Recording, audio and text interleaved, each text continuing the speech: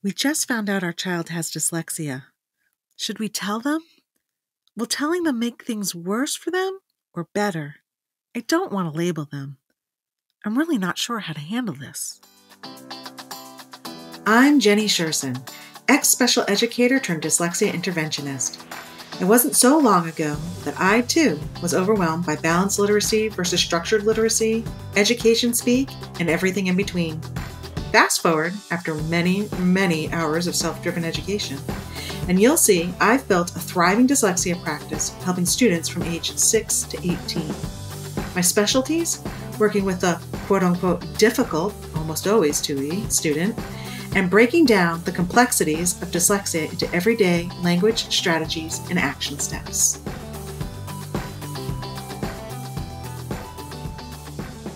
Before we dive in, two quick housekeeping items. In our last episode, I said this one would feature a guest who not only is dyslexic, but also the daughter of one dyslexic and mother to another. Unfortunately, the flight cancellation issues around the holidays has forced us to postpone that episode. We had multiple flights canceled on us, and I wasn't able to fly out or meet up with our guest. I'll keep you updated on when we think this episode will be rescheduled. Also, a quick reminder we are officially in IEP season. To help you out, we've put together a 12 questions to ask at a dyslexia IEP meeting with answers, podcast, and matching PDF. We've linked to both in our show notes below. Go ahead, hit pause, bookmark the podcast, and grab a copy of the PDF. We'll wait for you. Okay, going through the evaluation and identification process is full of ups and downs. Relief that you finally know why your child is struggling, heartache for what they are going through, and angst over whether or not you should tell them they're dyslexic.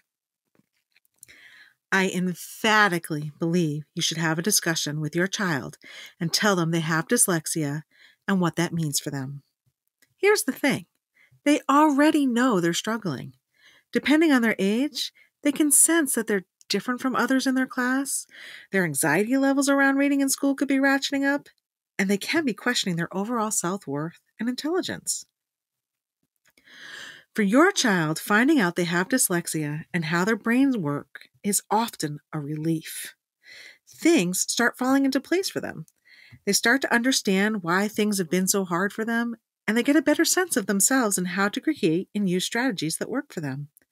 Not telling them can have a lasting effect on their worldview and self esteem. Okay, I'm going to get a little personal. I'm not shy in sharing that I have ADHD but I wasn't diagnosed until I was an adult. When I found out, I was relieved. I'm not crazy.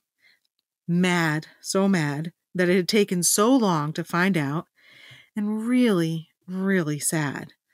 All that wasted time. If only I had known. What could I have accomplished with the correct supports and strategies? Middle school was very difficult for me. I really wish I had known before then. I don't want any child to experience what I did. So, yes, without a doubt, tell your child. Okay, so what's the best way to tell your child? Don't just spring it on them. Find a place where they feel safe. It could be snuggled up on the couch or one on one time in the car. Perhaps you ask them if they remember how they met with a person and they did all those tasks. That person that was going to help everyone figure out how to help them better with school.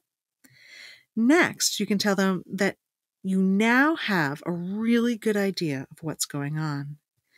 They have something called dyslexia.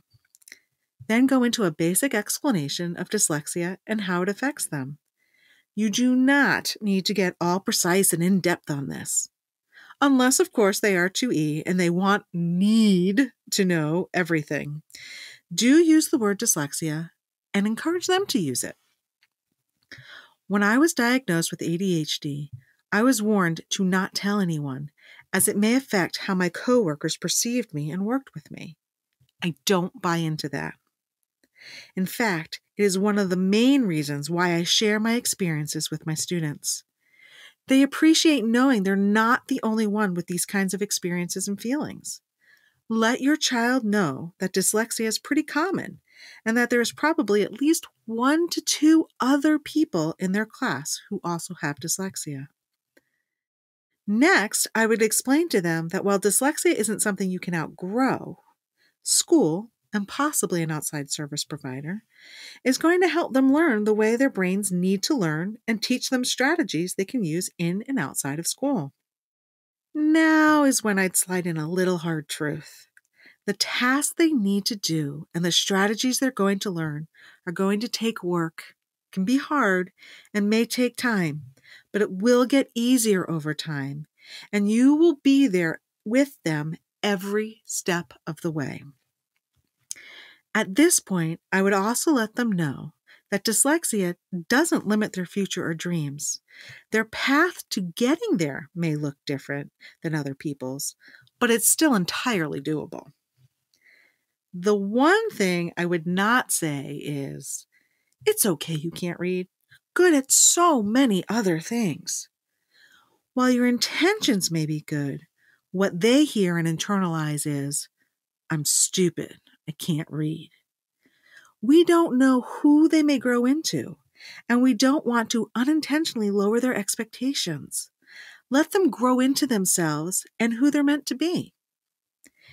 If you have any further questions about dyslexia and how to talk to your child about it, please feel free to sneak into my inbox. Until next time, bye bye. I hope you enjoyed this episode of Literacy Untangled. If you loved this episode as much as I did, head on over and rate and subscribe so you never miss an episode. If you want to continue the conversation or share your takeaways, head on over to our Instagram at Literacy Untangled and comment on your favorite part. I can't wait to hang out with you again soon. Bye!